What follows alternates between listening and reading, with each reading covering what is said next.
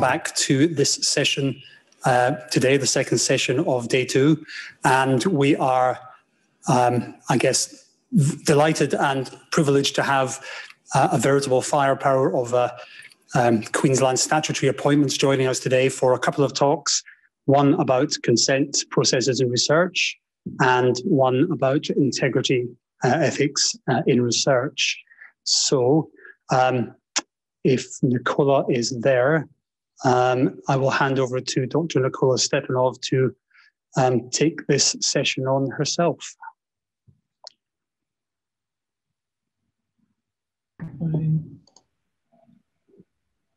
Hello, thank you, Gordon.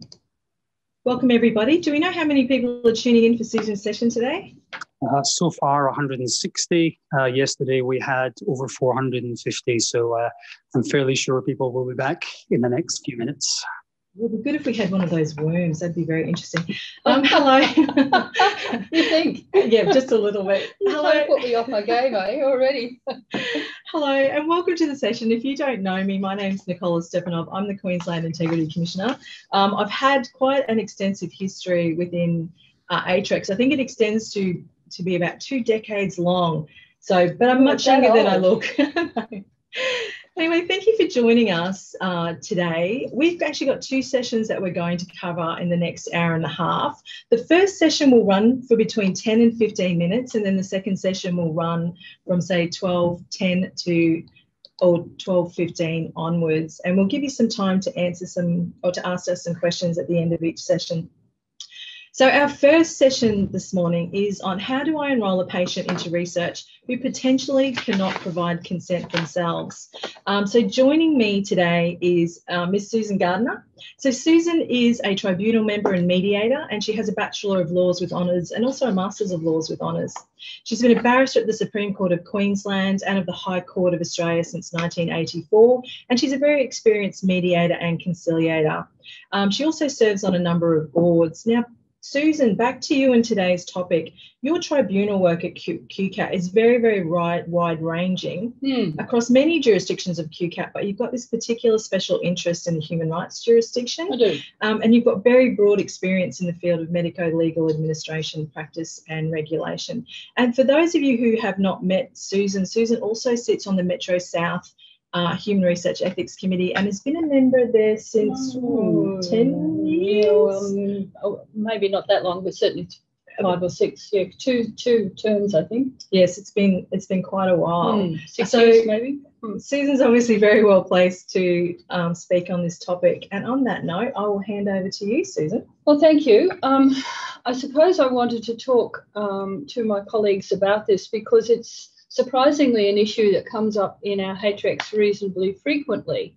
And that is, okay, I've got research that I want to do, and some of my patients, sorry, some of my participants um, may not be, be able themselves to give consent. What do I do? Well, before 1998, you couldn't do anything because there was no capacity for um, people who couldn't themselves consent to actually be enrolled.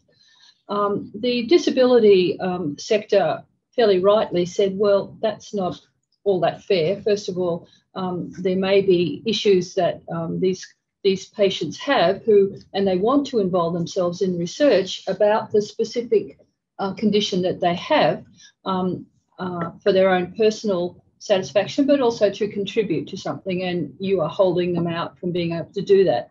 So in 1998, the Powers of Attorney Act got amended um, to allow a substitute decision maker, as it was then called, to be able to consent um, to someone being enrolled in uh, research when they can't themselves um, consent to it.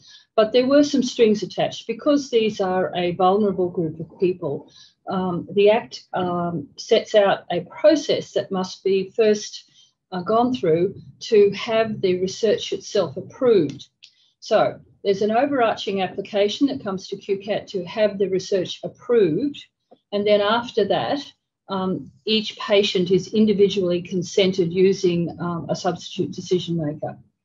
So the law changed a little, changes a little bit from the 30th of November this year, and um, which is remarkably soon. So what I wanted to do is just run through how, as a researcher, you might be saying, oh, I've got these people who perhaps can't give consent. I'm not absolutely sure. I want to enroll them in my research. What do I do? So I know that you spent an awful lot of time yesterday talking about capacity, so I'm not going to go through that all again for you, but just to say that generally why patients can't give consent are because they've got a mental illness, they have dementia, they have a drug and alcohol dependency, intellectual disability, or an acquired brain injury. They're the, generally the five categories in which people fall who find that they don't give, um, they, they may not have the capacity to give consent. Now, informed consent is matter specific. What do I mean by that? It means that if someone's consent fluctuates, it may be that um, they can they have capacity to consent to some things, but not to others. For example, they might be able to handle their day-to-day finances, but they can't deal with the um, capital investment that they've got. And the same thing goes goes with um, um, uh, consent to medical research. So I generally suggest that people have um, two questions in mind when they're looking at whether someone can give consent. Um, and the first one being, despite this potential incapacity, can this patient give informed consent to enrol in this specific piece of research?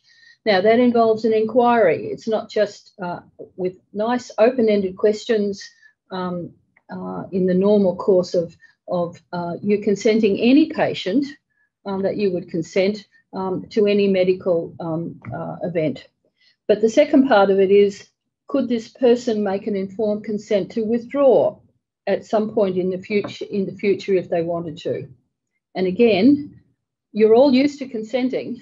Um, it's not all that different. You just have to go through a nice open-ended process and please put it in your notes, write it down. Um, remember that the consent itself is the process, it's not the record of it. It's what you do, it's not how you record it. But it is important that you record how you do it.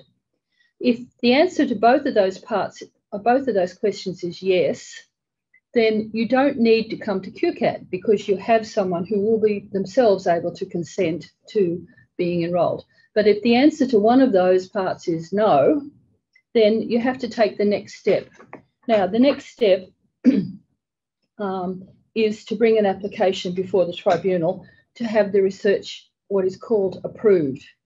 Again, sounds terrible, but isn't all that um, hard to do. There is an application form that needs to be filled out. Um, and you will see, if you have a look at the section of the um, Guardianship and Administration Act that's involved, that um, there are set out there a number of things that the tribunal must, and I emphasise the word must, must be satisfied about to be able to approve it as clinical research. And it's section 74A of the Guardianship and Administration Act.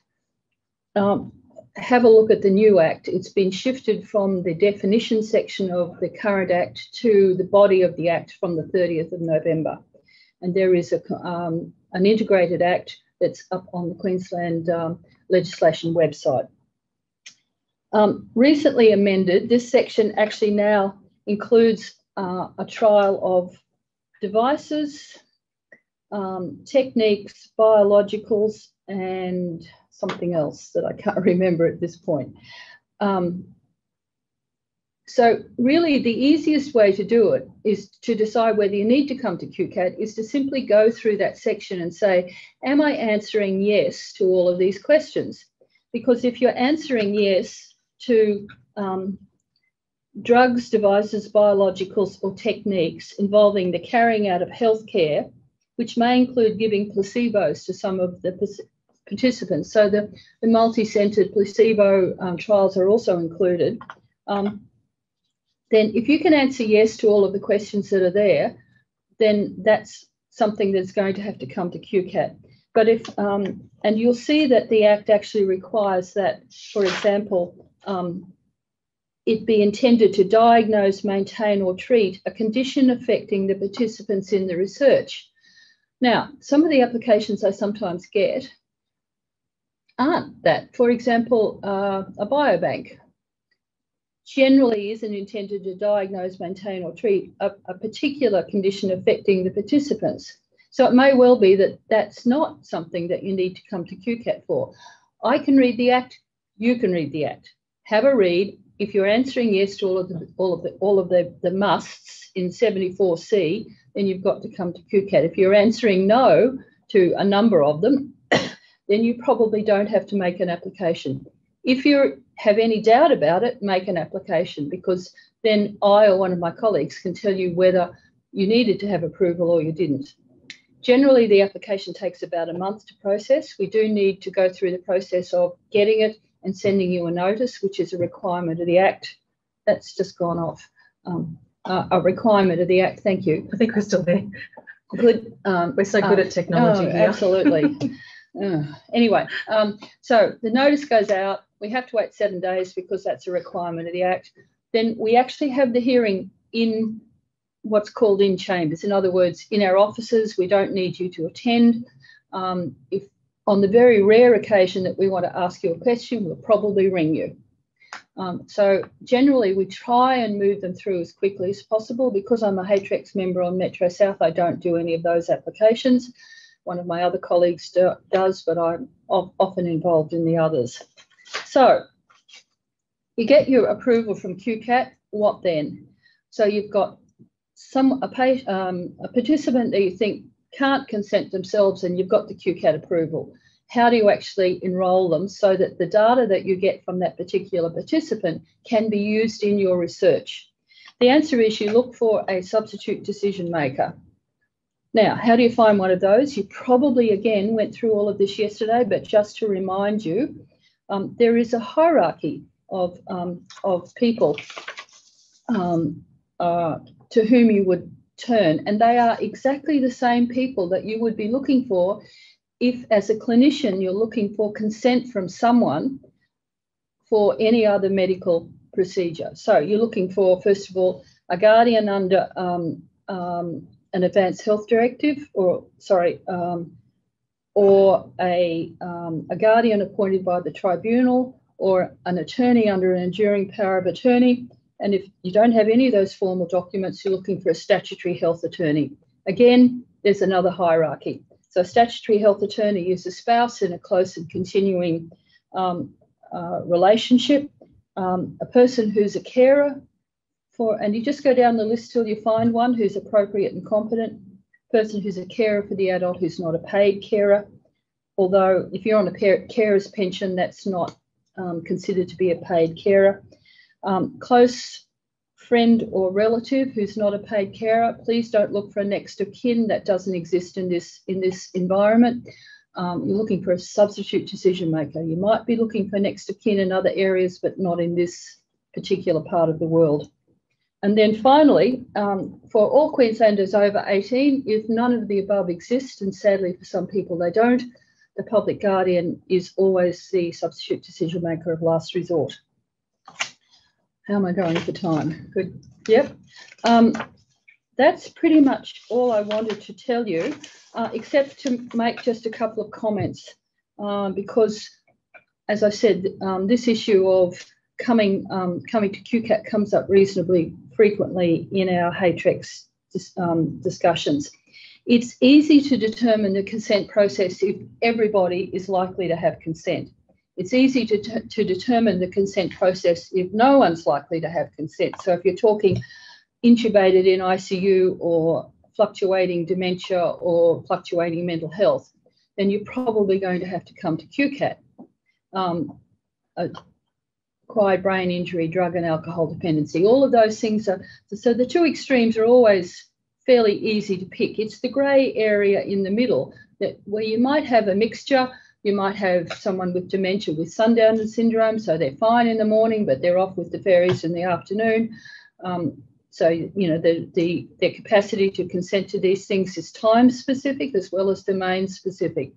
So you just need to, it's that grey area in between, and I think tricks um, researchers up. Um, and so what happens is um, the process is too hard for the researchers, so they just, in reality, only enroll, enroll patients with capacity. they might say they're going to have a wider, wider, but they really avoid anyone who looks like they're going to be a problem.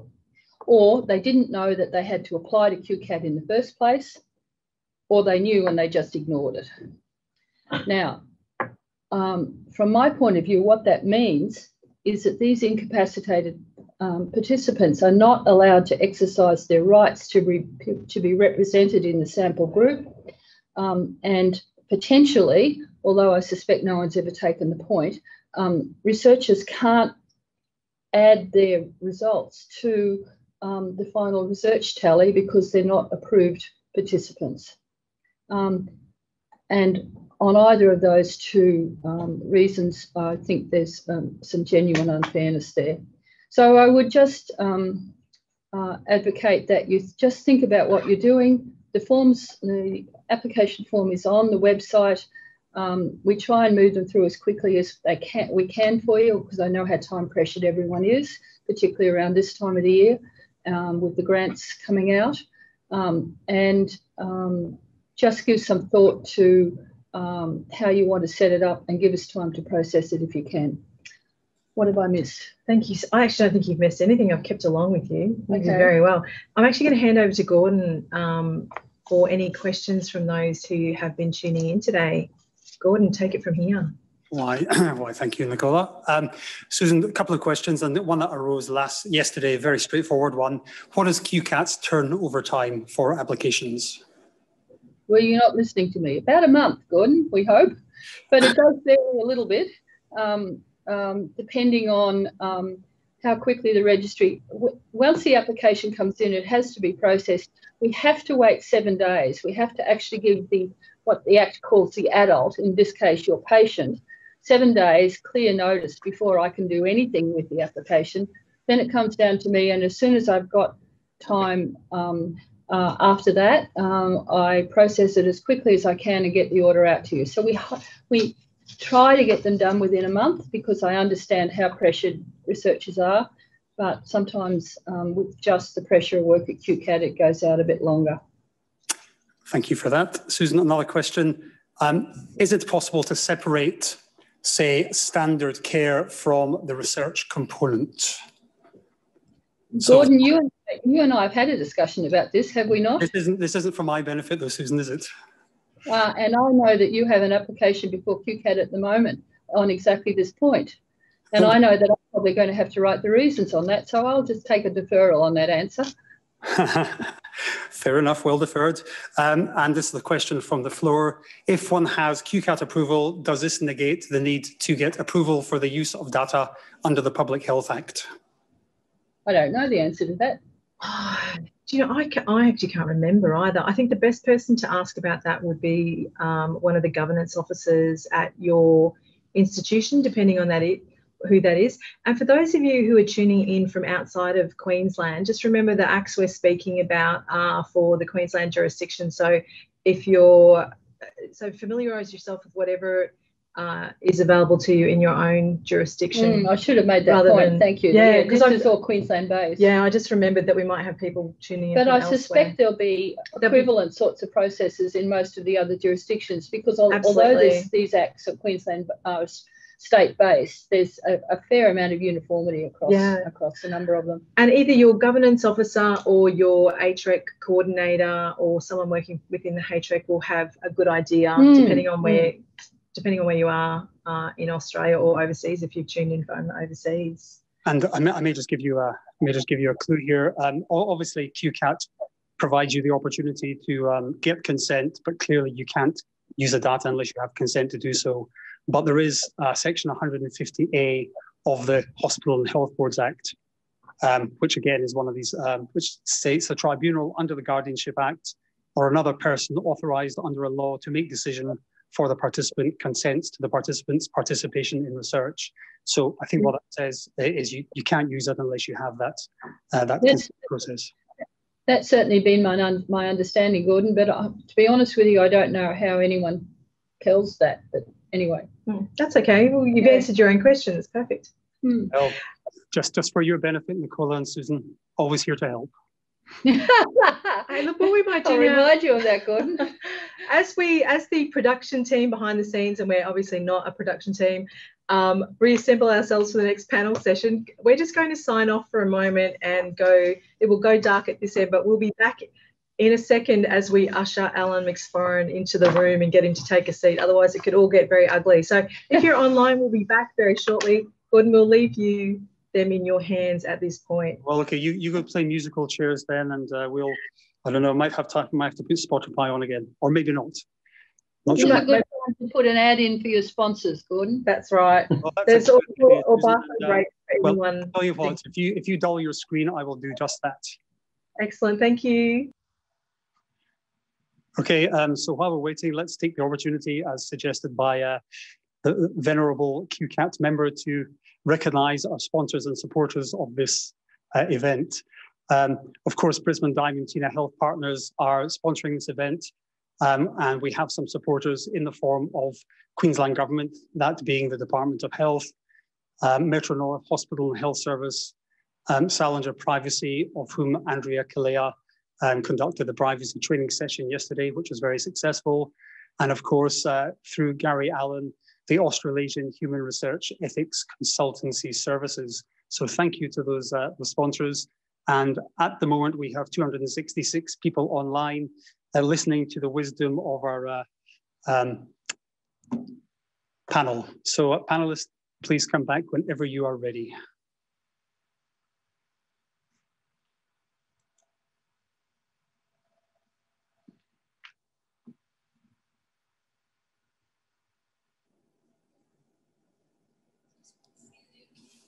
against my lips and now this time is passing by but i still can't seem to tell you why it hurts me every time i see you realize how much i need you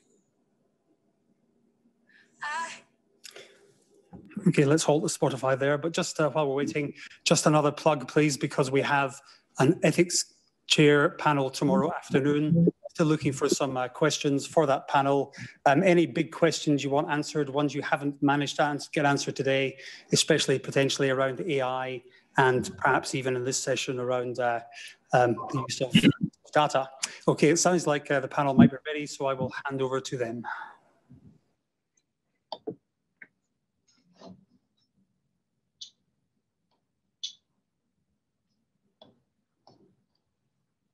Hello and welcome. Welcome back. Is our are we off mute as well? Look at us being technologically a little bit savvy. So just a minute. We're just going to pull a panel member along a bit. You might want to get in screen. It's all good. No show without punch, Gordon. That's right. That's right. Hello. Thanks for joining us. If you didn't watch the last session, I'm Nicola Stepanov, the Queensland Integrity Commissioner. We have taken production into our own hands here today, so we apologise if there are any if there are any issues. Um, at the end of this session, which will run to we'll probably run for about an hour, there'll be time for questions. Uh, and for you to ask a question, uh, I think I assume Gordon's got a way for you to send questions to him, so I'll hand over to him at that stage. Cool. Apologies for any technological issues that we have in the interim. So welcome to our panel session today on misconduct in research, ethics, integrity, and we're also discussing some practical approaches. Joining me today, we've got Susan Gardner, Alan McSporran, and David Lavelle, and I'll introduce them all a little bit later as we get along a bit further. So, um, as we know, research misconduct is not a new phenomenon, and according to the literature, uh, it's becoming something that's more common. It was first cited in the literature back in the 1830s, and I was just reading an article uh, only recently by Rahman and Ankia, and they were talking about this idea of um, uh, dishonesty and research misconduct within the medical field. Uh, so that was a very, very long time ago. Of course, as it's such a competitive environment, research misconduct has become more pronounced. The kinds of things that we would typically see are things like uh, misrepresentation of data. And of course, we all know about the um, egregious false research of the UK paediatrician Andrew Wakefield and he published the false data on the measles, mumps, and rubella vaccine. That was published in the Lancet back in 1998, and it took until 2010 for the Lancet to uh, retract that information. Um, Andrew Wakefield obviously is a bit of a celebrity these days because he's dating a very well-known supermodel. Anyway, so that's what happens when you do res- another, research another- misconduct, you go on to. Step, isn't it? I know. It's all very interesting. So in Australia, the key national document that lays out the expected standards of codes is called the Australian Code of Responsible Conduct in Research. We just refer to it as the Australian Code. And you've got bodies like the NHMRC or the ARC who can suspend and withdraw funding if there are concerns about uh, research misconduct. Uh, and also, the institutions have uh, various rights and obligations as well. However, the ability to take action when you see research misconduct is not confined to just those agencies.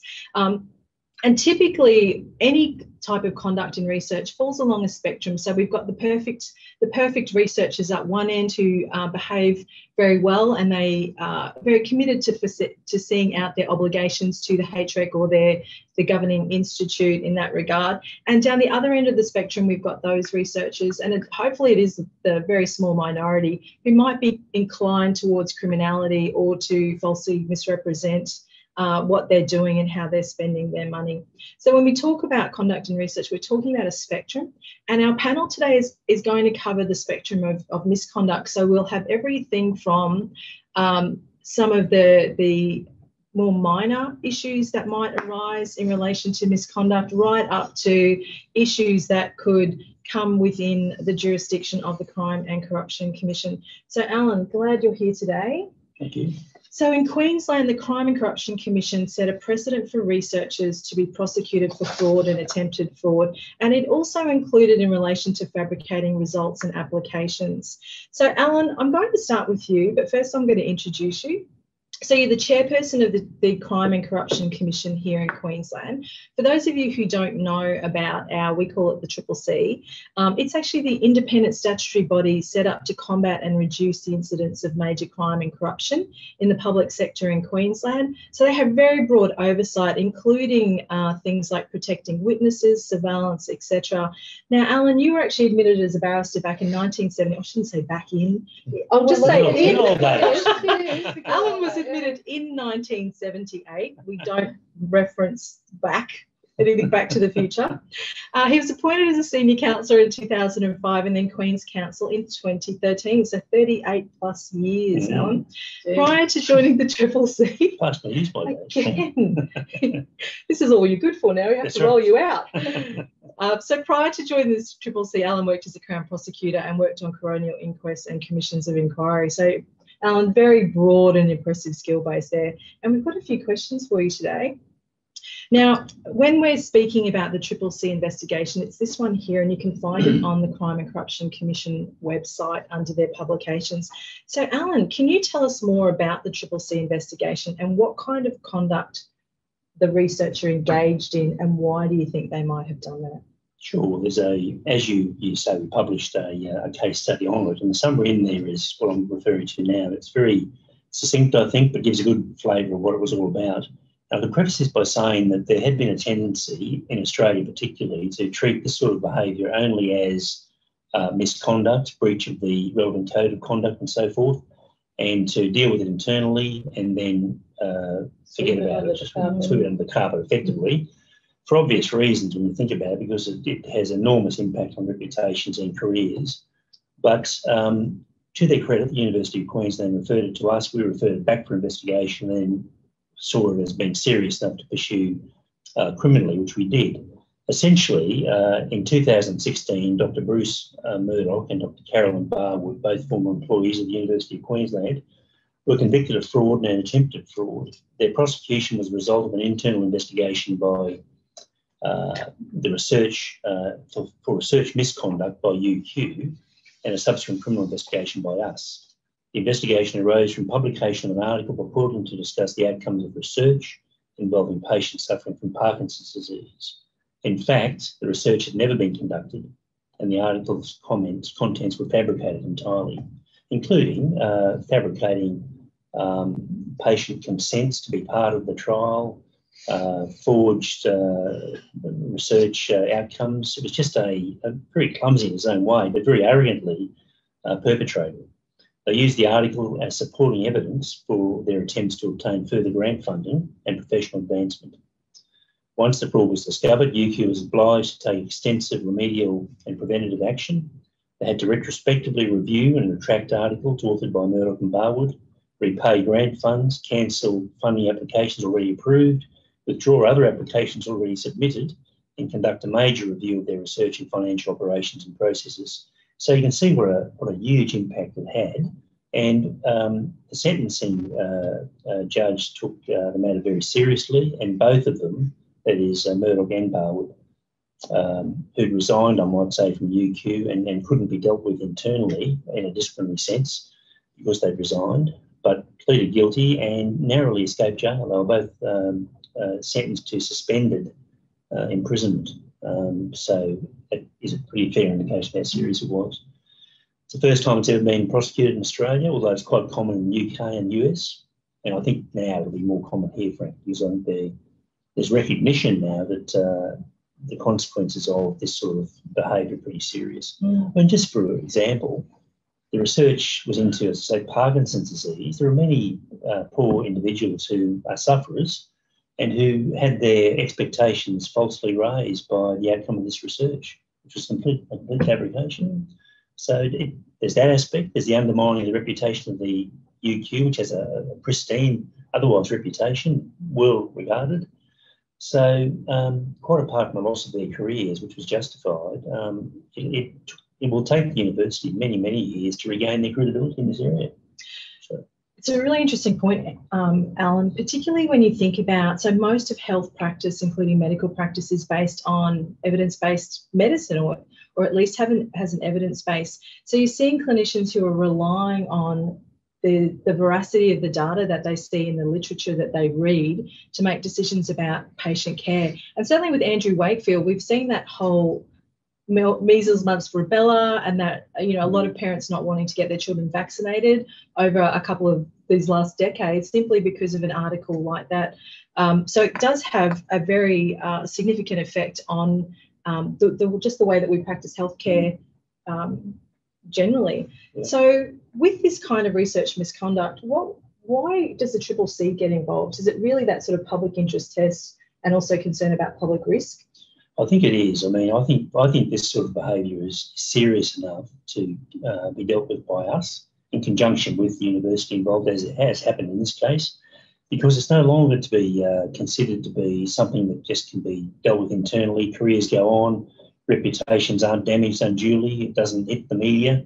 I think this sort of behaviour needs to be called out as a deterrent in the public interest to stop the behaviour uh, happening in the first place. Mm. When you look at how this actually uh, was brought to light, it was just uh, through some other staff member noticing that the paper, its details about the research didn't match the login details for lab. The lab wasn't big enough to cater for the number of patients purportedly involved in the trial. And as it turned out, uh, the lead researcher, uh, Murdoch, was on leave for a lot of the time he claimed to be doing the research. So it was just blatant. Mm. And luckily, this person raised their concerns and it was then uh, followed up and, uh, and, pursued. But as I say, the blinding arrogance of that tells me that it might have been going on for a long time um, and there was no need to be particularly deceptive about it, mm. get away with it. So I think it's serious, yeah. I remember uh, myself marking a master's thesis quite a long time ago, and at that stage, I had been doing a lot of um, end of life and cancer research and the thesis I was marking, they were using the, the names of um, publishers in the oncology field, and basically where where the pub where the particular author's paper would discuss oncology and its statistics, they switched oncology out for arthritis. And it was only because I was very familiar with the authors in the field that I was aware that they every single publication was actually an oncology publication, and they were putting it forward to get a master's award mm. um, as if it was arthritis, something like that could go on to, to mm. um, impact on the care of a patient. Mm. So, if we're thinking about the kinds of things that end up with the Crime and Corruption Commission or a similar body in Australia, what, what kinds of convictions or penalties might these researchers be facing? Well, I think in this case, um, as I said, the, the court considered to be serious enough to otherwise impose a prison sentence which carries with it an automatic conviction, which is quite serious if you're looking at international travel and so forth. And secondly, uh, it was just uh, they, they evaded actual, actual custody by a whisker. The, the sentence in prison was suspended, so they didn't actually go to jail. Mm. but the message is, you know, this is pretty bad conduct. Yeah. And, and for all the obvious reasons, really, um, you know, just a blatant um, use of the fraud to get money from um, people who are funding this sort of research in, in good faith, Yeah. including, I think one of them was the Lions Club, you know, weren't flush with funds, but they thought they'd give them $20,000 to kick off some research based on this great work that these two had done, which was just a fraud. Yeah. So um, they had to repay those monies. The university had to repay the uh, the Lions and so forth. There are much greater sums of money they'd actually applied for, but the university withdrew when the fraud was discovered rather than let it go through. Mm. Several hundred thousand dollars worth of uh, grants. And you know, it's all born out of this huge pressure to publish or perish. That's You know, right. you have to that's back right. up your research with these papers. If you don't, your currency, your employment might be at risk, your, your relevance to the area of research might be diminished. So there, there's a huge temptation, not that it justifies it. You can see the reason behind why people Yeah. cross the line. And of course, in doing so, you ruin not only your own career, but you send a shocking message to people who are funding these things to say, well, you know, should I be putting money into this? How do I know it's legitimate? Mm. Look at these people who I thought were, you know, senior people, professor and doctor, and it was just a um, a tissue of lies. Mm. So it's a very, very bad outcome, um, frankly. And I think everyone's sort of stepping back now, thinking, well, we just need to be more careful about these projects, tick the boxes, and do a bit more um, governance around them to make sure it's legitimate, Yeah. which puts even more pressure on the researchers Mm. who are doing it legitimately. Yeah. And that's the shame because, as we said in our report um, publicly, we had a disclaimer right on the uh, start of the report to say, look, don't um, lump UQ into all of this. These two individuals were the only two involved. The, the other people in the department were all doing their job appropriately and uh, in a dedicated way. So we had to go out of our way to make sure that the everyone wasn't tarred with this shocking brush. Mm.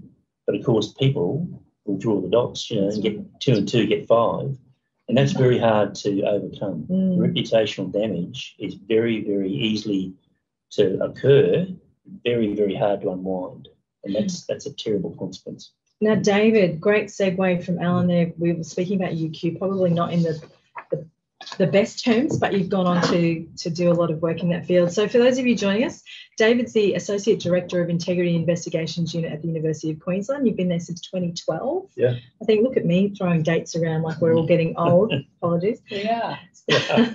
oh God! On that note, so the Integrity Investigations Unit is an independent work group that reports to the Chief Operating Officer, the Senate Risk Committee, and also the Vice Chancellor's Risk and Compliance Committee. Now, David, in the past, you've actually worked as a detective senior sergeant, including as the officer in charge of proceeds of crime unit of a major fraud investigations group. So you're probably the perfect person to have sort of been dealing uh, with the the triple C investigation in this place.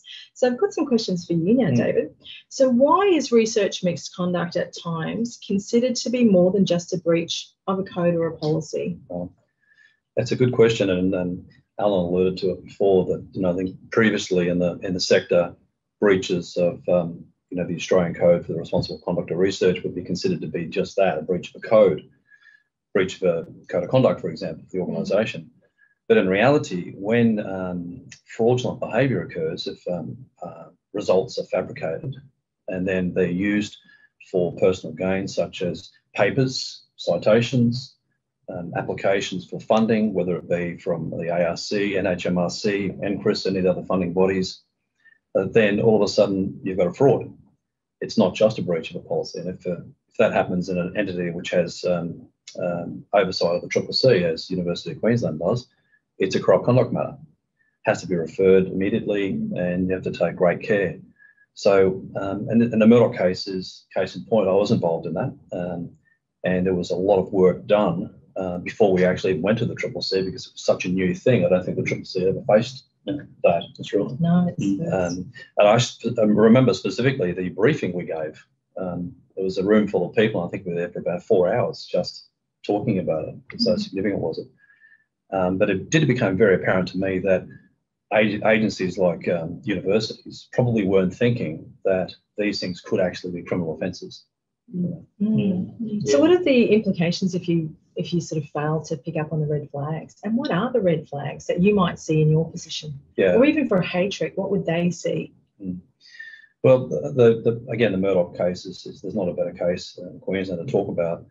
And um, the things that became very apparent there was, as Alan said, the consent forms. So uh, they were fraudulent, and we had two sets of them. So it, it, for me, being an ex-detective, I had the advantage over others that I could actually see, without being an expert in handwriting, that there were significant differences in the handwriting styles. So we actually paid quite a bit of money to actually go to a handwriting expert Mm. and tell us what we thought, because as you'd be aware, particularly people that are listening, the rules about publishing say that you must retain your data for five years from the date of the published article. But there was no data. So could it be alleged later on that Murdoch was treated unfairly because the data is available, we just didn't find it? So the handwriting really put that to bed. And the handwriting analysis actually came back and said they are forgeries.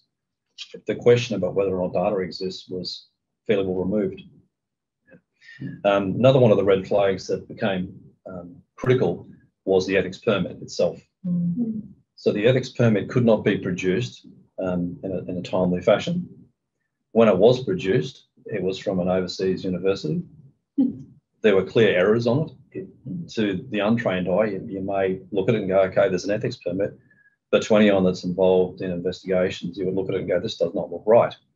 And sure enough, it was a fabrication. The ethics permit was a fabrication. Mm. And so you, you, no doubt hear that those that don't know about the Murdoch case are probably hearing about lots of fabrication going on here. It's not just about the fabricated results. Now, this went into a, um, a very prestigious journal called the European Journal of Neurology. And once that occurs, there's a level of um, uh, authority with that, that people can use that paper. They can use it themselves, as you said, Alan, to, to attach to grant applications. Mm. It bolsters someone's resume. It can get them moving along in their career. However, um, through due diligence within the University of Queensland, we knew we couldn't allow um, rumours to spread without unpacking it properly. The handwriting evidence was very critical. But some of the things that occurred, if you look at the timeline of the events, there were actions taken at intervals which, had the University of Queensland been um, more aware of the, the risks, we may have been able to get in front of that a bit earlier. Mm. Um, and It's some sometimes hard to pick though, isn't it? yeah, yeah, It's particularly if you're sitting in a HREC and you've got 30 applications on a Mm. Tuesday night, you know, starting at five o'clock. Mm. You, you really got to, you really got to be on the ball. yeah, Well, I think the other, the other problem is that human nature being what it is, thankfully, in many ways, people don't want to think of the worst of other people. I mean, especially someone like a professor and a doctor Mm. who are submitting the application to look on the face of it. Why would you say that they're doing anything other than bona fide they- research? What they say they're going to do. And, and then you feel almost uh, embarrassed at asking questions about the authenticity of certain aspects. You know, it's a bit Mm. confrontational, but I think you just have to be, you have to be objective and, and fairly clinical about it and just look for the red flags that David's talking about. Not easy to spot, I agree, Mm. but you do need to just be careful and have a protocol where you do ask those difficult questions yeah, because to and, yeah, otherwise you're dropping the ball and you're putting at risk a much greater um, outcome. and that's know, the advantage of that's the advantage of a mixed HRECs group. because- Absolutely. Because the bits that I can see as a lawyer, as opposed to the bits that some of my colleagues who are, you know, ingrained, experienced researchers, they can say, "Oh, that's not right," and I can say, "I don't know what you're talking about. Explain it to me." Mm. Or, and you know, the the the um, outcome is greater than the individuals often. But That's yes, right. I agree. The independence. I mean, what's it? This comes back to a HRECs. All they can do is just remove the approval. Yeah. Mm. I mean, that's that's it. yeah, Yeah. So and thought normally they're the- work with governance too, and governance will remove its approvals. yeah. Mm. I thought here one of the one of the major flags, without knowing the setup at UQ and the labs and so forth, is this person who blew the whistle ultimately said that there's just no way that number of people could have been involved in the trial at that lab. It just wasn't big enough. Yeah. And the machine that was supposedly used wasn't something he was qualified or um, familiar with to use. Yeah. So little things like that that people have to have their radar up, yeah, Mm. you know, Absolutely. and Mm. Because some of these people just are just so arrogant and uh, don't don't even think they're going to be questioned about it, no, Yeah. but you need to. And I think within the HRECs as well. So everyone brings a different expertise, but if anyone from Townsville HREC is on board, hello. Um, but as they would know, when we had issues, it would be to say a clinician raising a red flag and saying, look, these researchers have cited these particular side effects and these are not they haven't cited the more serious side effects or it could be that the, the time frames or the, the number of patients that that they were seeking to enrol in a trial aren't correct. Or in some cases it has been that when they've reported side effects they haven't reported them accurately. So i think have, when you have a HREC look at those applications and everyone has that ability to provide input. I think that's really important. Now, for you, David, and for UQ, what kind of impacts did you experience at UQ from this research misconduct? Because it was very, very public. Well, it was, and um, you know, Alan sort of opened the door um, to talk about that a bit further. Um, you can imagine if it was in your work area how you would feel if someone that's been previously revered, a former head of school, uh, highly decorated, um, had been interviewed by um, a current affair, one of those programs, on um, the uh, initial success of um, uh, the process was called um, rapid transcranial magnetic stimulation. And it's designed to actually assist people that have got speech issues because of things like Parkinson's or stroke. Mm. Um, and so we've got Parkinson's Queensland involved in, in funding it. We've got Lions involved in funding it. And as research, um, as the way opera, the operations of research go, you've got many people involved you know, there, there, are many authors of papers, mm. and there are many people who will benefit um, from grants. Um, they will continue to be employed, for example. So all of a sudden, we've got question marks on so many papers. Mm. Um, and I, I, must give due credit to um, Professor Peter Koopman and, and Dr. Susan O'Brien from the university, who did the very, very hard work of coming up with a decision tree, which was very cleverly put together to try and figure out how many papers actually should be considered out of a list of 300 papers. Mm. Um, and of course, while all that's going on, the, um, the impact it has on people's emotions, mm. you know, human beings that have worked closely with, you know, revered academics mm. suddenly question um, everything. Everything. Mm. Yeah. And it's, it's sad to watch that. Mm. Good people who question so much and you know don't deserve to have to go through that. Yeah. And then there's a reputation piece.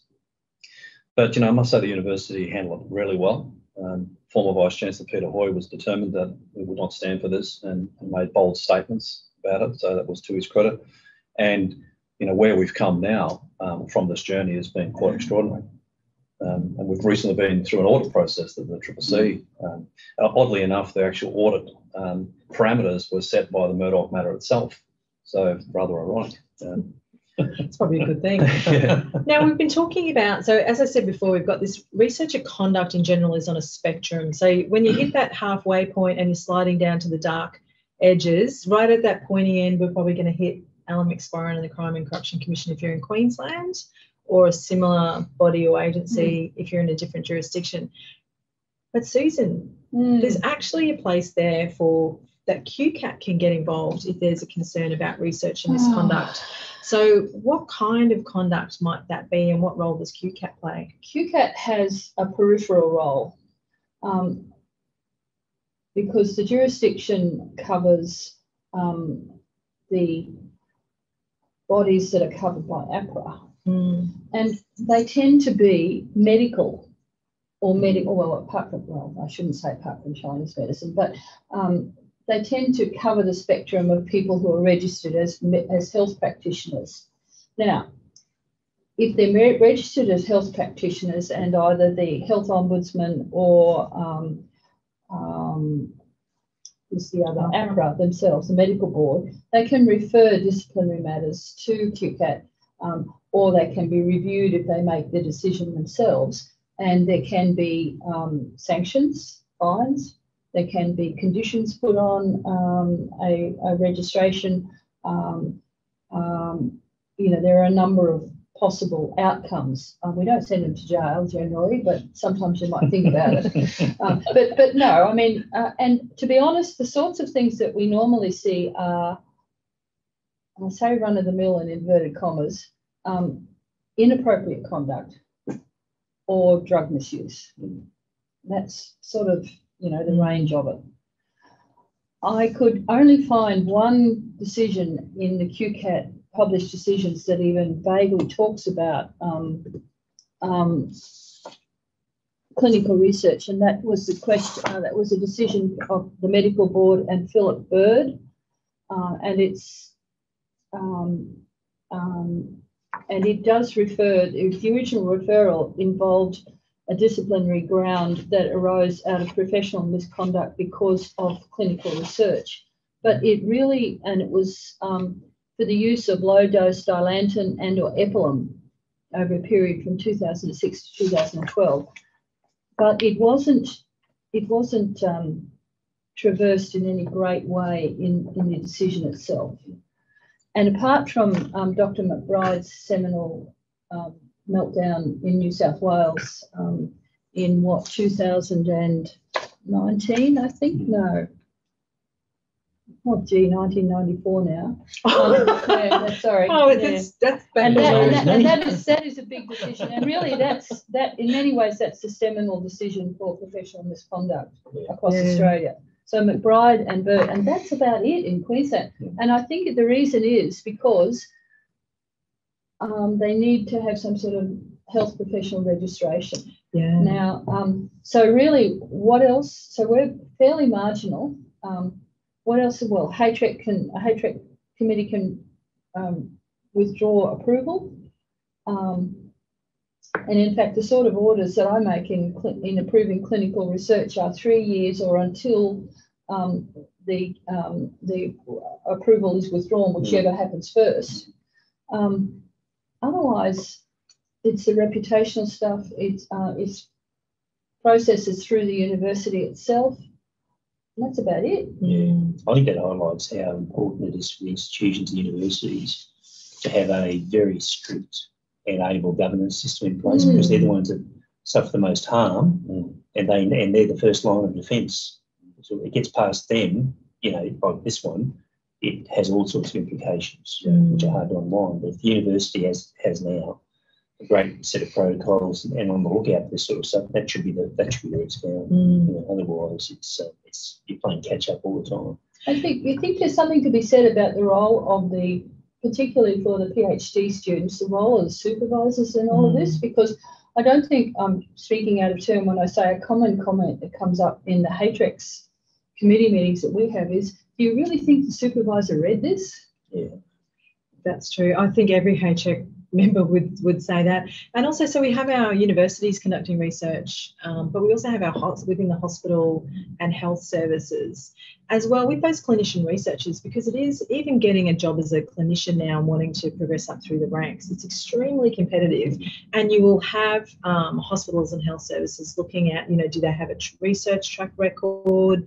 Um, so there is that intense focus Pressure. now, It's and it's very difficult. Absolutely, and it's completely Very different difficult. from what may have occurred years ago, even in the university setting where there there may have been more of a focus on your teaching Well, credentials. see, now that's changed. Teaching and learning, I think the research side of things, because it's Yeah, income driven, is, is much more important to universities um, than um, teaching and learning is. Yeah. And this is from someone who's, you know, just just done a Zoom on on my late husband's um, teaching and learning award. I think things have changed. Yeah. And it, I mean, being when we're thinking about university rankings, we're really thinking about Money. research rankings Money. and how many publications mm. we've got in sort of different model. prestigious journals. I think the other thing to note about this is that there's a real lesson for people involved in research. Like Barwood, who was a PhD student, she was she discovered she was nominated by him, the professor, as a co-author. Knew she hadn't been, and just then just went along with it. And the pressure on students Yeah. and Mm. underlings to toe the line and not expose their Well, it's the bosses. power imbalance. isn't it? Exactly, it's exactly it's, It's a a cultural huge thing. power Yeah. imbalance. And of course, once you go along with that, you are forever compromised. Mm. So, you know, it's a very slippery slope. So I think it's worth, I'm sure the universities are doing it now. Um, I know they've, they've engaged me for law students for this very purpose. You have to send the message that, you know, you should report misconduct. Mm. Oh, what if I lose my job that I spent two years getting a hold of? Yeah. Mm. Well, and I won't get a reference. Well, um, how good on your CV would be a question, why didn't you get a reference from your last employer? Oh, I reported them for misconduct or fraud Mm. how good's that? You know, but that's not the first thing you think about Mm. when you're being compromised. Particularly when you're a, an early graduate and you're trying to, you know, Absolutely. make your mark. and- Very hard, harder and harder difficult. by the day. Yeah. So I just come back to your question that me about the red flag. Mm. One of our very senior people on a, a question of an ethics permit once a discussion. We had some senior lawyers in the in the room, and it was a pleasure to be there to hear the open conversation and transparency around these top, these tricky issues. And, and the comment was made by a you know very senior person. When we discover a problem in research, we must stop. We have a good look at it. We don't start again until we're pretty satisfied it's okay. Mm. And I've, I've, I've never forgotten that. That's a It's great straight, statement. It is common sense. Yep. We have some very long HRECs meetings, I have to tell you. Yes. But you're right, you don't overthink it. You just do what's inherently correct. You know, That's you it. want to know if this is right before you let take the brakes off. Mm. Yeah. Forget about the, uh, the time constraints and the pressures. I mean, you've got to get that right, otherwise disaster Mm. will befall the whole program. And I know certainly my experience on HRECs and and anyone who's tuning in who's been on a HRECs, you know what pressure they, they're put under, whether it's the chairs or the, the governance officers or the HRECs coordinators to to push through research. And it's seen Mm. as a failing if it's not passed the first time. I I write things all the time and they're rarely at their best the very first time. So I think we need to accept that that we need to let HRECs and governance um, officers do do their work. They're entitled to do their work, and doing research isn't an entitlement; it's a privilege, and we're doing it with on people, and it can affect them. So we we ought to treat it that way. Gordon knows I harp on about that as I have for But it's, years. it's one of, it's one of the strengths of the whole process, that it is an independent body. Absolutely. And we, we, we're not part of Mm. any of the organisations, you know, that we're oversighting. yeah. Yep.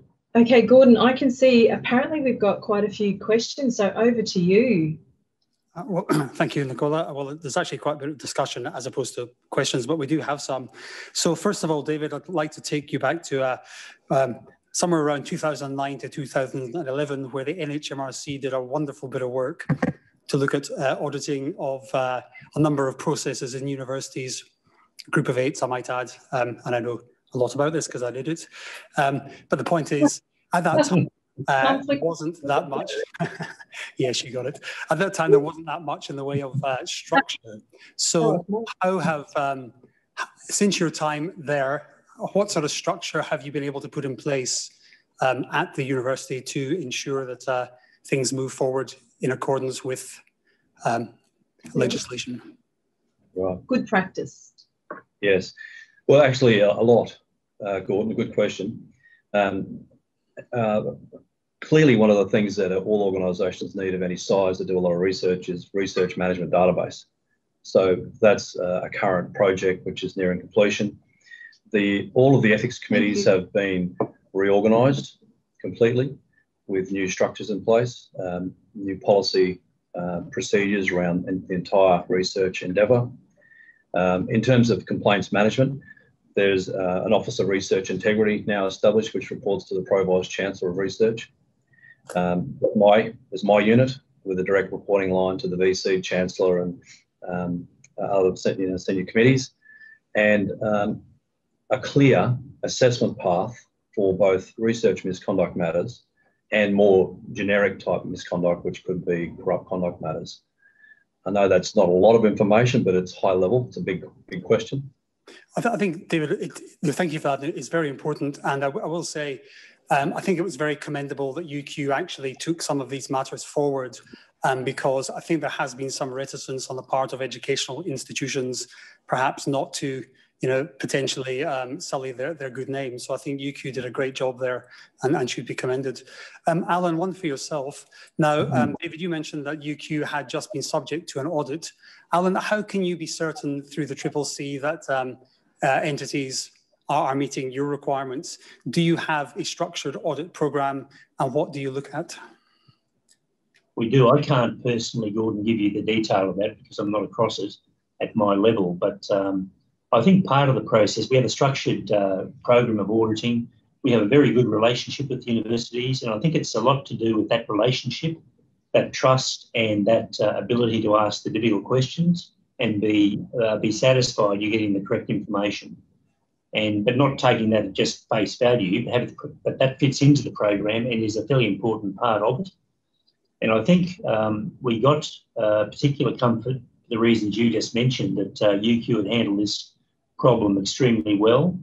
I mean, the temptation, as you say, always is to protect the business model and reputation rather than be transparent and accountable. And I think, I mean, I believe, as, as David does and as Peter Høj at the time as Vice Chancellor believed, that the, the best um, medicine is uh, absolute transparency and be seen to be exposing it and more particularly doing something about it in the appropriate way. So that gave us confidence. Uh, we got the report internally from UQ. We were very satisfied with the thoroughness of their investigation. And all of this feeds into our, our audit program, which rates that sort of behaviour and the assurance we can get from the audit program we conduct. And that will vary across uh, agencies. I mean, UQ is a, a very uh, good partner of ours, some are not. And we, we are rightly suspicious of some of the responses we get. And that's part of our job, of course. Yeah. And, and, I may say, I think from, from reviewing the group of eight, that there was a lot of difference in, in the way things occurred, not necessarily be, uh, not, not best practice, just different ways of doing things. But the question is whether that lends itself to finding things which may not otherwise be able to be found. Um, so another question for the panel. Um, in, in terms of complaints raised by research participants or members of the public, does the panel have any comments or insights about cases and how this has been managed? I have a lot, but I'm probably not able to speak about them. um, so the, the ones that have come from members of the public have have usually. Do they, so do they come to you, or do they? They would go to, to an HREC chair or the ombudsman. Perhaps? No, not usually. So normally the complaint okay. would come in via the the HREC chair or the governance, um, whoever's in charge of governance. Uh, would receive a complaint, so the hospital would get one. And the kinds of things might be um, where a research participant is talking about some of the things that has, have happened to them and it doesn't seem to make sense. Um, and it could, you know, whether they're being put in examination gowns that are too short, um, just some very strange things. Not to look at your toes. No, that's right, not to look at their toes.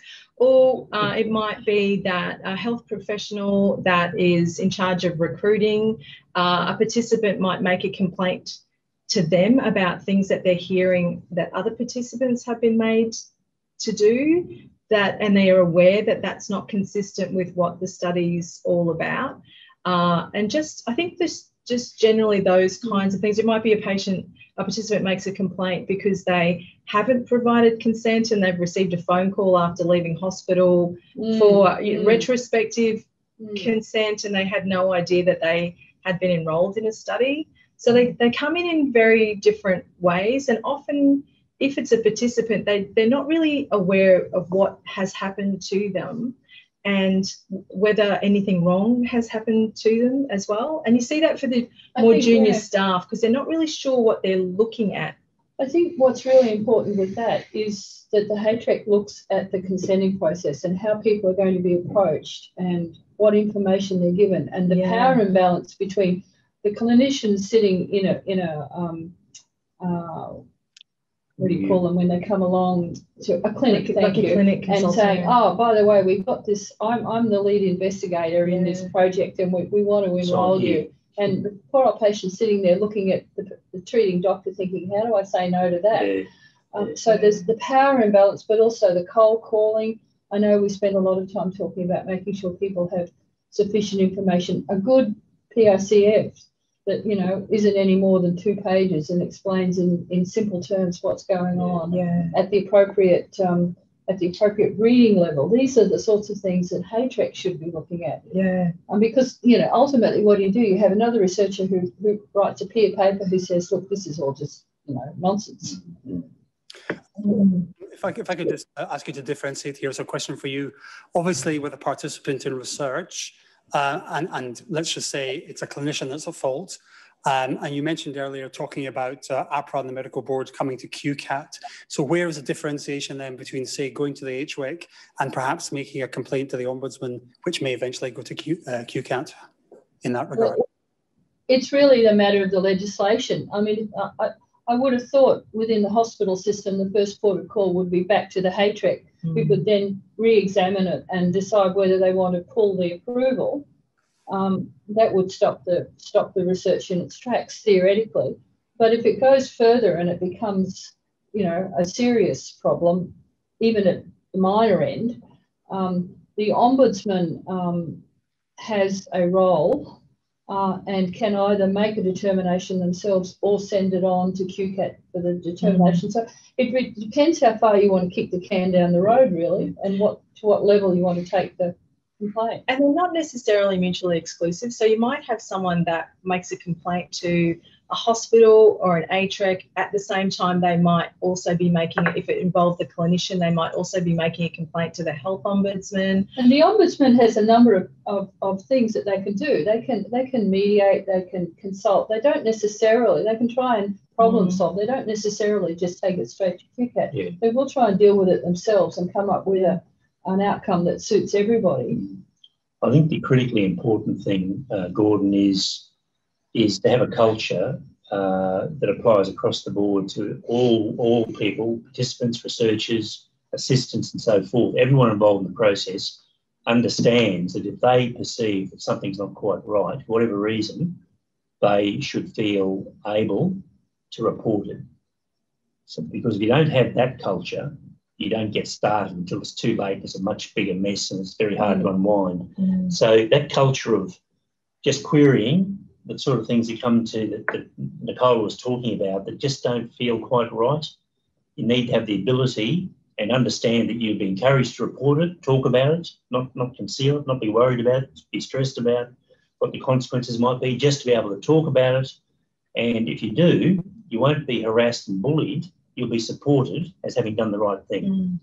I mean, that's a ask, but that's what you need to achieve. But feeding into that is the culture of so many of the research people um, pieces are staff on staff research. Yeah, exactly. Um, uh, or you know, you you want you're, you're asking your colleagues yet again to become a participant. Yeah. Um, um, so those it's the power imbalances yeah. that you really have to be careful of. Exactly. Or it might be that you're a clinician and you're you're dealing with a population that's very vulnerable. It could be mm. oncology patients, or so we've got to respect a person's right to be involved in research, irrespective no. of yeah. what they've got, but then also their right to to say no and not be concerned that the treatment options will be changed um, if they don't agree to to take part in hmm. research. There is a, there is a good point, Nicola, and, and that is that so at the Royal, in fact, we have implemented a research integrity process, and of course, culturally speaking, the challenge is making sure it's um, disseminated a, a, across all levels.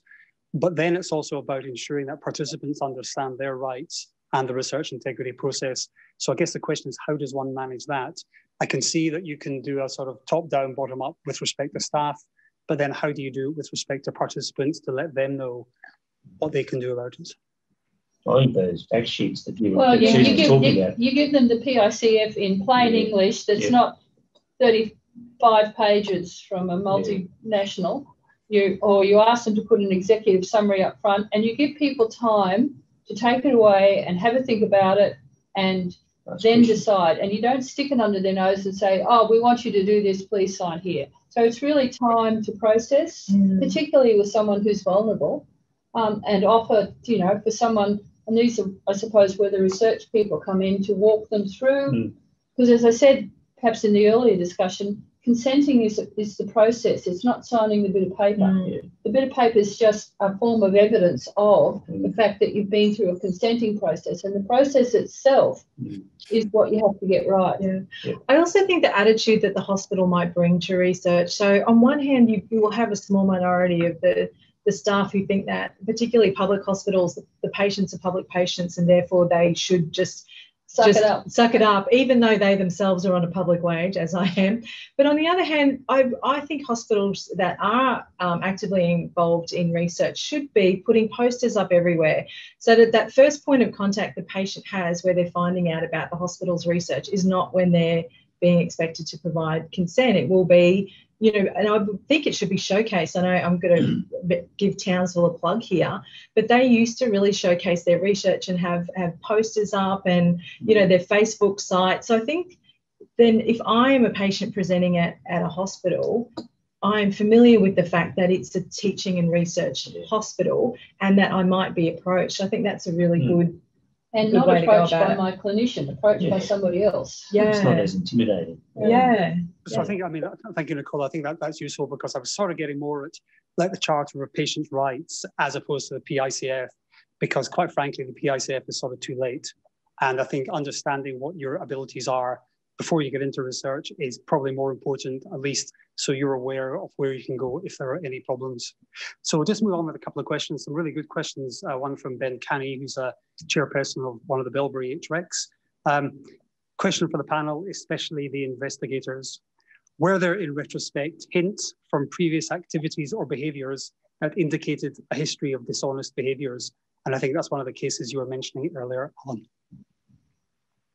I, I think, uh, from what I understand about the, the Murdoch Barwood case, once they reviewed a number of the other papers they'd submitted, they found not dissimilar type of fraud.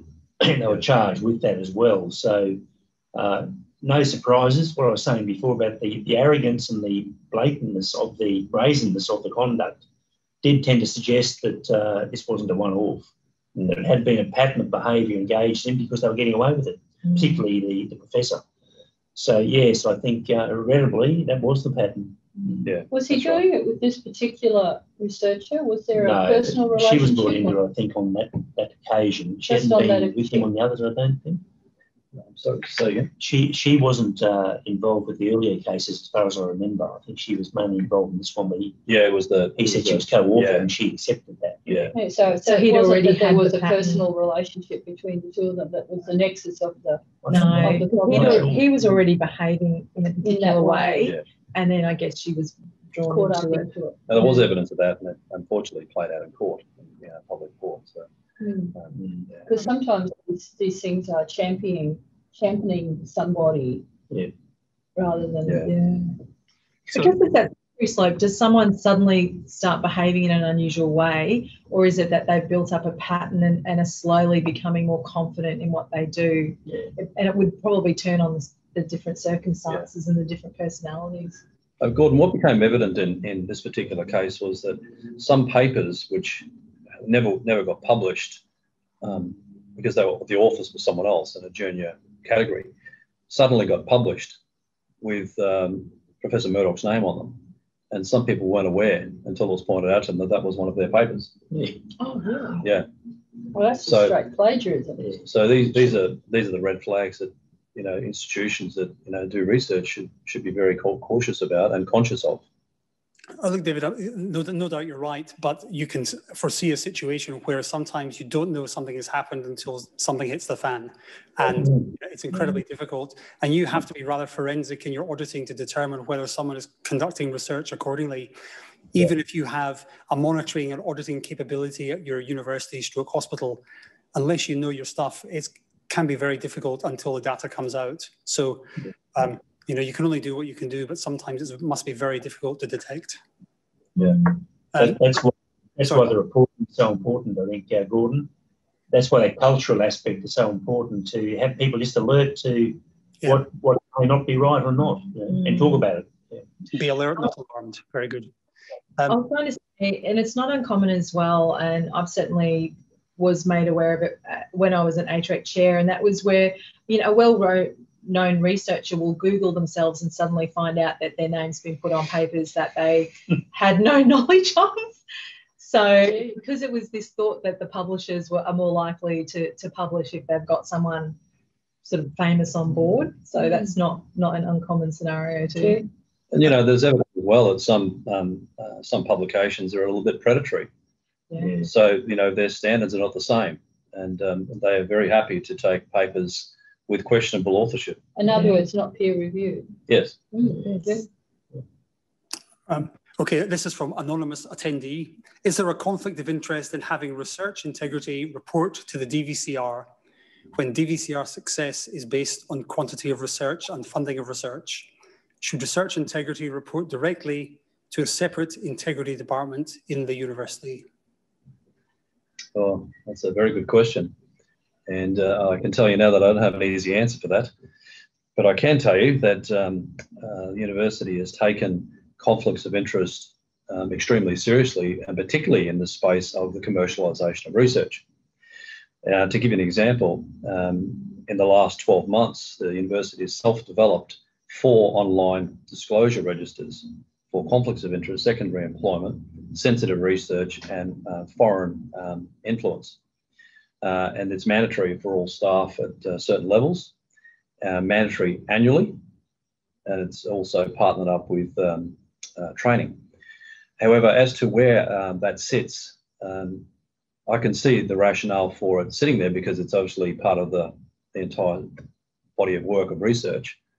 Um, I guess we'd have to have a case to discuss as to whether or not that's created. You know, Attention. really, really, basically, that's going to depend on the culture because if you don't have a culture of honesty and openness, then no one's going to fill your register in. Yeah, that's right. Yeah. Mm. Uh, Look, I think it does go back to, I think, as I mentioned earlier, UQ um, to sucking it up and actually coming forward with the fact there had been research misconduct. Their level of integrity at the top was clearly, you know, appropriate. So I, I I understand your point, David, but um, obviously one has to report somewhere, and I think uh, the DVCR is probably as good as any, quite frankly. Um, so Susan, just to, sort of take you back to to your talk, um, but this is a, a question that came in uh, after the talk. Thank you for a great talk. Are you able to advise how your comments around consent with research in the emergency setting, where the potential participant may be affected by drugs or alcohol? Well, we all know that you can't get retrospective consent. So there's your first starting point. Um, if you, if, it's funny, um, my again, without talking out of school, my HRECs spent probably about a good hour and a half on this just recently.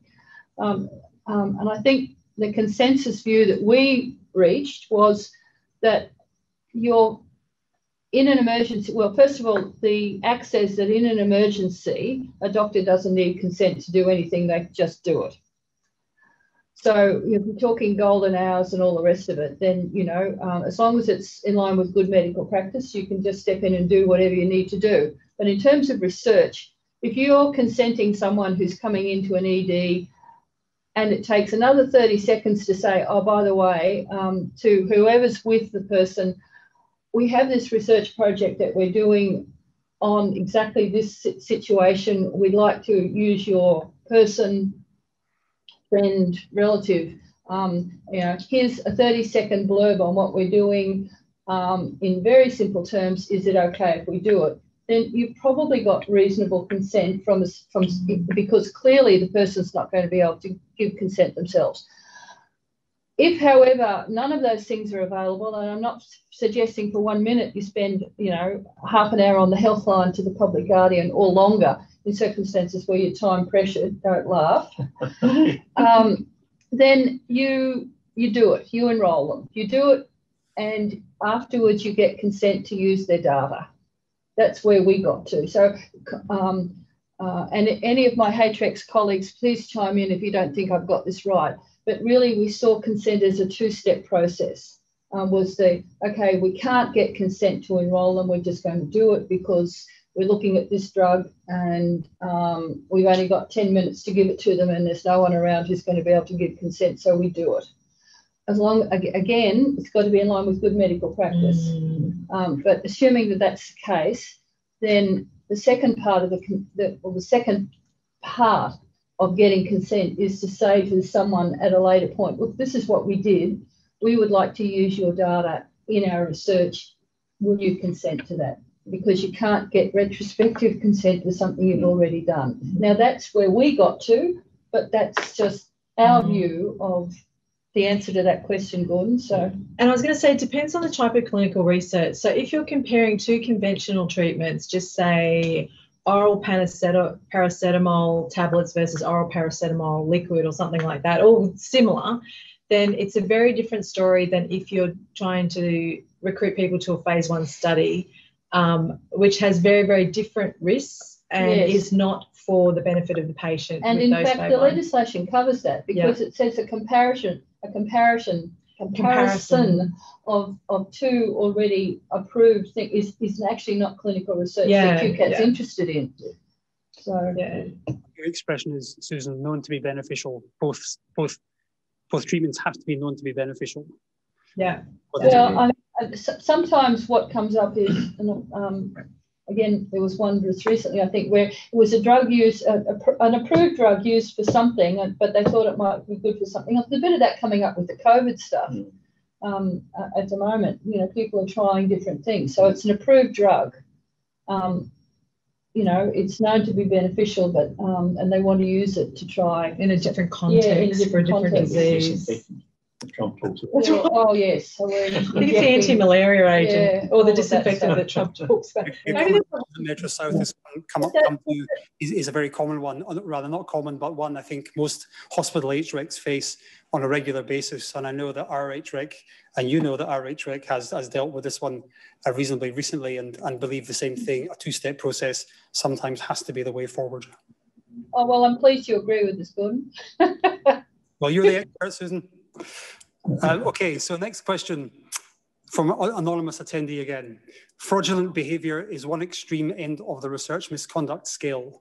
What kind of advice would you give to HRECs about handling research misconduct that is simply a breach of the code or policy, noting that the HREC is guided and confined to the national statement and not the institution's codes or policies? Well, do you know, and I I was very fortunate because I always worked with great people um, like Sue Jenkins Marsh and Sarah Sarah Potts online. Sarah Potts is online. Thank you, and thank you for the comment about my hair, Sarah, um, who just sent me a message to say it looked fabulous. Yes, it does. Thank you. Um, no, I was going to say. I I always found if I had a, was in a bit of a pickle, the chances are if it breached the HREC agreement, it was going to be breaching the governance agreement for the particular institution. So the best thing if you're a HREC chair or an HREC is to draw on the knowledge um, of that of that person and draw on the knowledge of your HREC. So the HREC would always be involved and we would keep them informed of anything that was happening. So I probably come from a position where I've been very spoiled because I, I did have access to people with sort of knowledge and expertise in how I should manage things. And how many applications per meeting did you have? Oh, we had, oh, I can't tell you in total. I actually can't tell you in total, I can't remember. It's a while ago. Mm. Yeah. Okay, But we report against them in the HREC meeting. Uh, next one. Does the panel have any view on the pathway of assessment of a potential breach that aligns with the code? So this question is really about the differences, I think, in assessment methodology. Some universities may have matters referred to the head of school to do the initial assessment, seeing it as a staff management issue. Others may have the research integrity office do the initial assessment uh, and the preliminary assessment and not involve the management area. So probably one for you, David. So it's basically different methodology. What do you reckon? Should, should they all be the same or, you know, is it horses for courses? Yeah. Well, we, we have a, um, an Office of Research Integrity and would be a great question for either Dr. Sue O'Brien or Dr. Mark Kamke to answer that question, but I can say something to it. In each of the faculties and institutes at the University of Queensland, there's people who perform the role of a research integrity advisor, no doubt familiar to people listening in. And their role is to give advice. They don't investigate, um, but they can seek advice themselves and they help any researchers who may have a question about concerning behaviours such as research misconduct, plagiarism, fraudulent data, whatever it might be. Uh, and then they can communicate directly with the Office of Research Integrity. That's where the actual assessments will be done. And from that point, it'll be escalated depending on the severity of it. For example, we're on the same floor of the same building, so they use our assessment tools uh, to try and figure out whether or not it's a corrupt conduct matter. And then we talk about those matters together. Um, and I think that's a good system. And I think if I, if I can just add, Gordon, that just uh, it's not dissimilar to what we do at our place. The most important part of the process, frankly, and where you need your best people, is in the triaging of all complaints. Because often something might look innocuous on the face of it, Mm. but with experienced people, it'll be a flag that's more serious. You need to look more closely and give it to other people. So you just need to be very careful how, how complaints are assessed, in my view, and you need your best people doing that in, in a consistent way so that nothing slips under the radar. Mm. I, I think we've got a couple more questions, Gordon. Yep, just a couple more. Um, does the panel have a view on the well overdue need for a National Office of Research Integrity? Oh, Oh, we'll have a shared, we'll have a Yeah, shared view. ab- Yes, we should absolutely. We're very absolutely that. wide-ranging powers. Yes, yes. Fair enough. Not- Well, actually, maybe I could, maybe I could ask Alan a question about your views on the, the potential National Crime Commission. Yeah, That'd be it's- Oh, the. Integrity We have one of those Yeah, well, know, anyone anyone that suggests, and there are many who have, mainly politicians, to suggest there's not a need for one, uh, it's an absurd argument, frankly. Yeah, I mean, be it's, it's a no-brainer. The sort of money that the Commonwealth deals with, the procurement contracts, defence contracts, Land, thirty million when it's three million. sports, rorts, you name it, it's all happening in the Commonwealth sphere, and there's no integrity commission. And the one they propose, uh, surprise, surprise, seems to carve out the uh, Yeah. powers that apply to politicians as opposed to federal public servants and Yeah. federal police. It's a bit of a lame duck. So that's an ongoing conversation, which I'm heavily involved in, I might say, and um, we're hoping to get some traction, have something done about it, because I think the model that the independent um, Heather Haines, I think her name is, who's um, produced, similar to the Catherine McGowan's bill some years ago, is a very good model. Has all the, the, the elements that need to be there, and there's no reason why federal research um, shouldn't be part of that whole equation as corrupt conduct occurs, similar to what happened in the UQ mm. example we talked about. Mm. I think there will be a public release of the, the research report that was undertaken by Transparency International and mm. AJ Brown Yep. Uh, that our agencies also funded, and that is coming up very. I think it's within days. Next week. yeah. I know it's in my diary somewhere. So if anyone's interested in that, obviously there's been submissions, public submissions made, and you can have a look at that report released next week. And I'm sure you can even log in because they're sort of doing a spending one hour going. But you over know, neither of you are allowed to go across the border, don't you? We went to we went to Adelaide. Yeah. We literally, I've- I've been you know, don't tested. get accused about shifting down south to a national body or anything, will you? we will declare we were in Adelaide on the Thursday, but the cutoff was We're the Monday. you up up here. Yes. with- with- Um, Alan, maybe maybe a question for you. Just well, obviously the Crime Commission has a certain mandate uh, in, in in Queensland. Um, do your counterparts in other states have similar mandates that relate to their uh, universities and hospitals? Yeah, by and large, uh, Gordon, um, the, the- jurisdiction is, is roughly similar. Uh, there, are, there are nuances, but uh, generally speaking, universities and this sort of behaviour will be covered by most of my counterparts in the other states. Yeah. Okay. And maybe final question, Nicola. Um, how do we move forward if even in this instance the research perspective is seemingly defensive or excusing cases and precedents that points to clear misconduct and redundancy due to lack of ethical regard? Surely the legal perspective is clearly indicative of a proportion of researchers or individuals willing to do wrong. So the focus must be mandating better culture. Look, I, I think it's really simple, and it's and it's coming from someone with a with a law degree and Mm. trained as an ethicist, obviously um, in Victoria, and I've also worked in that capacity in Queensland before this job. It's really simple. You just have to face, focus on the research participants and what's right for them. Where you see misconduct or indeed anything that goes wrong with the research, it's usually because the researcher focuses on their own interest, whether they need a publication to keep their job or they need a publication to get um, more money in, or they're spending it in a particular way that they can't justify it. I think if we focus, if if each individual thinks about what it means to the participant and puts their interests first, I think that sort of completely changes your perspective. It's not hard to do in the health setting because most people become clinicians uh, and health professionals because they have a focus on on helping people and i think that we get in our own way when we start worrying about what something might mean to us whether it's not enough publications not enough money you know not going from associate professor to professor etc so that would be my my step is just focus on the research participants and why you're really there And I, my my plug would be to read the Queensland Human Rights Act.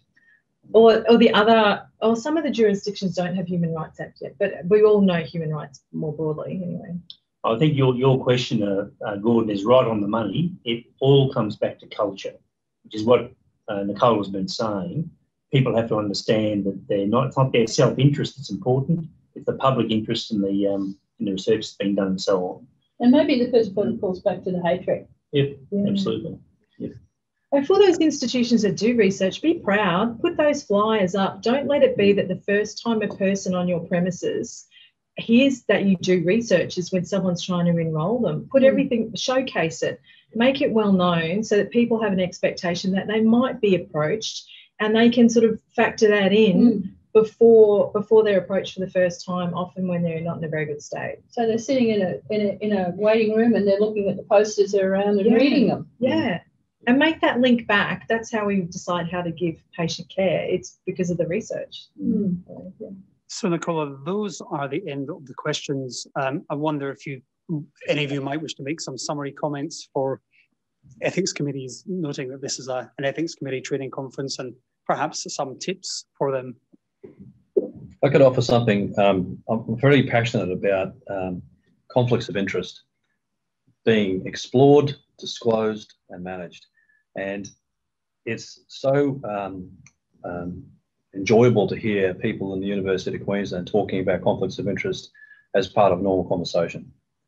Uh, and I think if we could all start thinking about ethics, whether it be HREC discussions or other, in normal conversations, then we'll be all better for it. Now, I could just add to that, uh, Gordon, I think that's exactly right. And I think one of the keys to that is that people, with the best of intentions, have a, have a tendency to say, Look, I know I've done nothing wrong. So all this nonsense about conflicts of interest doesn't really apply to me because I, I'm honest. The, the, the, the need is to change the mindset just a fraction to have them thinking, what if someone who didn't know me, what would they think about this conduct and how can I protect myself from the perception that I've done something wrong? If you have that slightly different mindset, you can't go wrong. If you document the good reasons why you've done something, you declare a conflict, you manage it. Don't be afraid of it. It's not, don't overthink it. Just do what's right. Susan, anything from yourself? No, just just just to say that I stand in awe of most of the colleagues that I sit around the table with once a month, even if it is by Zoom. Um, um, and and the, the the reason that I do it every month is the absolute interest that I have in the work that these people do, and I just would commend that to everybody. Yeah. Um, Nicola, some final words from yourself, and then we might uh, finish this session.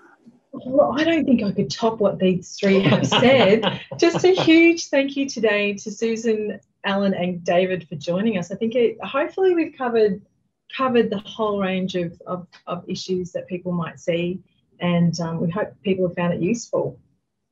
Well, thank you. I mean, there has been a lot of uh, chat in the in the chat room, just uh, in, in, in general terms, and I think it has stimulated some some lively discussion.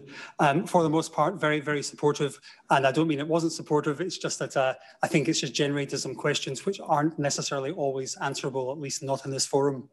So what I might do then is thank uh, yourself, Nicola, Alan, Susan, and David for a, um, a wonderful, stimulating, um, and to use your terms, Nicola, woke presentation uh, on research ethics, integrity, and the role of QCAT in consent. Thank you very much. Bye. Enjoy the rest of the day, everyone. That